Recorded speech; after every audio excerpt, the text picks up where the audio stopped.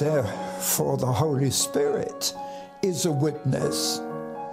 Because uh, actually in verse 15 the holy spirit makes a testimony and a witness. And what he says is this and i'm going back into the niv this is what god says. This is the covenant i will make with them after that time says the lord i will put my law in their hearts and write them on their minds and their sins and lawless acts I will remember no more.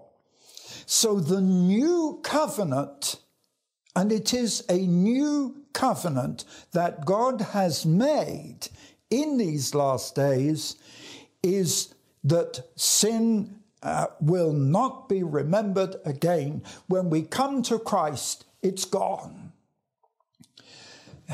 You see, I'm sure you know the story of Martin Luther in the Reformation when he was crawling up on his hands and his knees up uh, the steps, I think, of St. Peter's in Rome, and uh, confessing his sins as he went up, you know, until suddenly the Holy Spirit struck him with these words Christ has died once, I don't need to do this.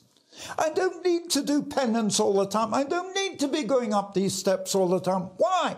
Christ has died once to pay the price and it's finished. Whew. But that's what the Holy Spirit is trying to remind us. This is part of the work of the Holy Spirit. To be a witness that this is the covenant that God promised He would make after this time, says the Lord I will put my law in their hearts, I will write them on their minds, and their sins and lawlessness I will remember no more. It's gone. It's gone.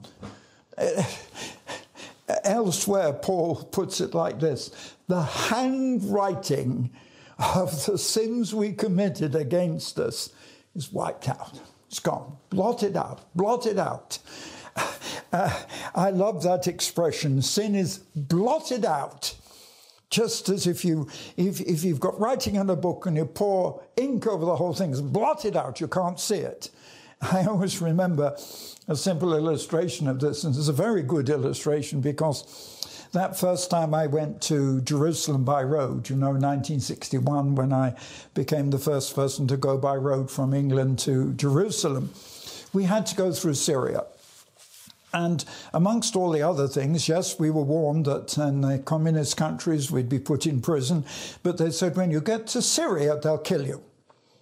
Because if they, they so hate the name of Israel, if they see on your passports that it's valid in Israel, and we also had to have documents for the vehicle in those days. I'm going back a long time. You had to have customs documents and everything. So we had the passports, the customs documents.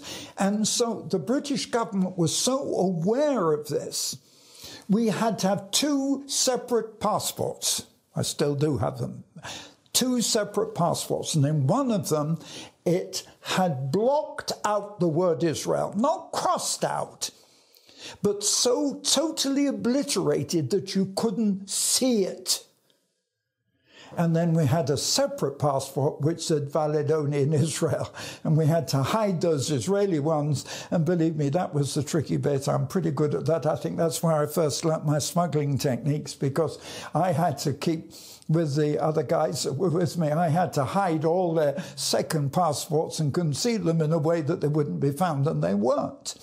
So, what the authorities saw when they put us against the wall in Syria and said, Where are you going?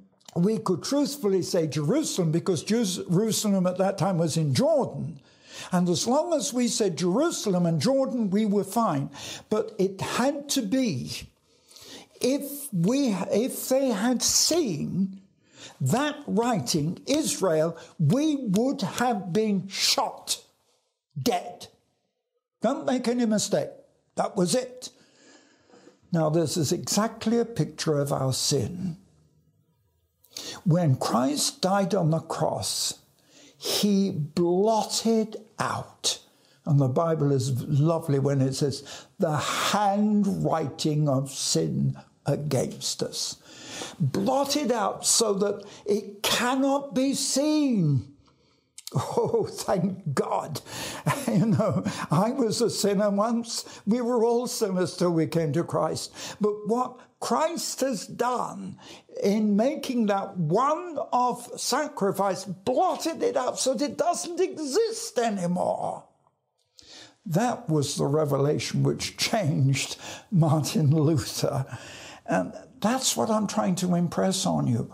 We don't have to come back and confess the same sins. They're gone. They're gone. They're gone forever, disappeared, blotted out, taken out. That's very interesting because as you know, with things like modern computers and even modern telephones, um, it's very difficult to obliterate what's on it. Once it's on the internet, they say it's, um, it's very difficult to remove it. But with the blood of Christ, it's blotted out all our sin forever.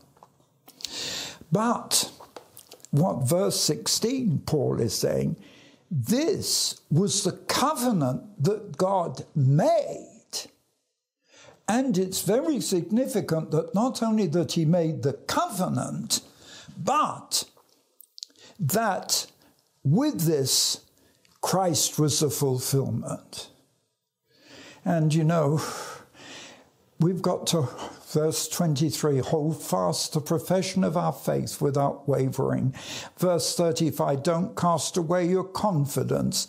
We need patience but we will receive this promise in a short time. Verse 37 for a little while, and that he that is delaying will come back. And verse 38 the just will live by faith.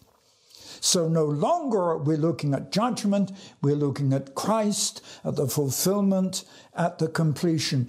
And it's absolutely clear uh, of the compassion. It's a fearful thing, verse 31, fearful to fall into the hands of the living God.